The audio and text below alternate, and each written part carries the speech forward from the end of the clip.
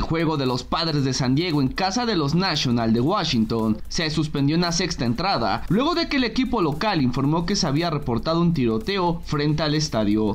Dos personas fueron alcanzadas por los disparos, dijo Dustin Stenberg, vocero del Departamento de la Policía Metropolitana. Con base en información preliminar, las investigaciones indicaron que una de las víctimas era un empleado del estadio. Más tarde, la policía de Washington tuiteó, dos víctimas adicionales relacionadas con este incidente ingresaron a hospitales del área para recibir tratamiento por heridas de bala.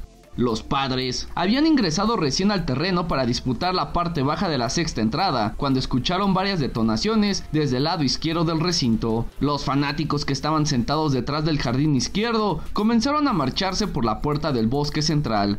Poco tiempo después, los espectadores que se encontraban por el lado de la inicial abandonaron sus asientos. Algunos fanáticos se aglomeraron en el dogout de los padres del lado de la antesala en busca de protegerse. Desde el interior del estadio se escuchaban las sirenas.